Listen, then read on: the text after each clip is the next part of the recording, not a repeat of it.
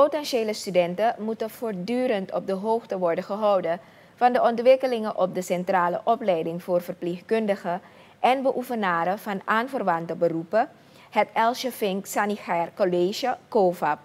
Deze open dag is bedoeld om de verschillende opleidingen die COVAP te bieden heeft meer bekendheid te geven bij potentiële studenten, zegt COVAP onderdirecteur Jenny Johns Christopher aan onze redactie. Het EFS College COVAP heeft besloten om een open dag te organiseren. De dag is bedoeld voor alle geïnteresseerden voor het verpleegkundig beroep. Met name studenten. Op een of andere manier vinden mensen het nog prettig om dus uh, fysiek contact te hebben met een opleidingsinstelling. Er staat veel informatie op de website, Facebook, over de opleidingen van het EFS College, COVAP.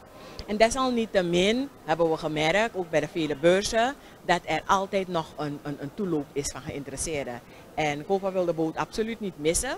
Dus als die behoefte er nog is, dan dienen we daarop in te spelen. De onderdirecteur stelt dat studenten daarom gebruik moeten maken van de geboden open dagen om meer kennis in te winnen over de opleiding. Begrijpelijk is dat het gevolg van de economische situatie een daling zou kunnen betekenen van het aantal inschrijvingen.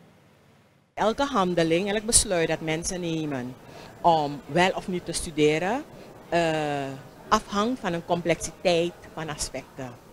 En inderdaad is er heel veel te zeggen over de gezondheidszorg. Maar we moeten niet vergeten dat er ook heel veel te zeggen is over de financieel-economische situatie. Want studeren kost geld. Het beroep is verpleegkundige. En wij leiden verpleegkundigen op verschillende niveaus. Vanaf de meest eenvoudige verpleegassistent tot en met de bacheloropleiding. Dat doen we zelf. De masteropleidingen doen we in samenwerking met een, uh, een buitenlandse university. Kies een beroep. En als je voor dit mooi beroep hebt gekozen, dan mag je komen.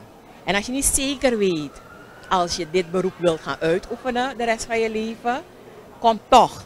Laten wij je informeren, laten wij je interesseren en laten wij je inspireren.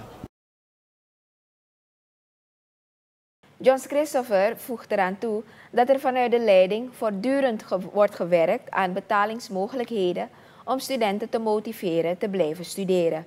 Door de opleidingskosten marktconform te stellen en de subsidie vanuit de overheid hoopt de leiding meer studenten voor de opleiding te werven, meent Johns Christopher.